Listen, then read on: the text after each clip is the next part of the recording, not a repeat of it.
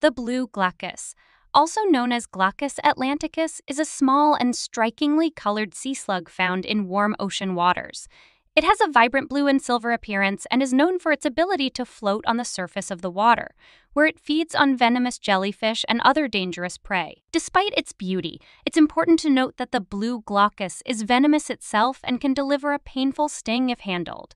Has a unique way of using the venom it collects from its prey. It stores the venom in specialized structures within its body and can deliver a painful sting if touched, making it an undesirable target for potential predators.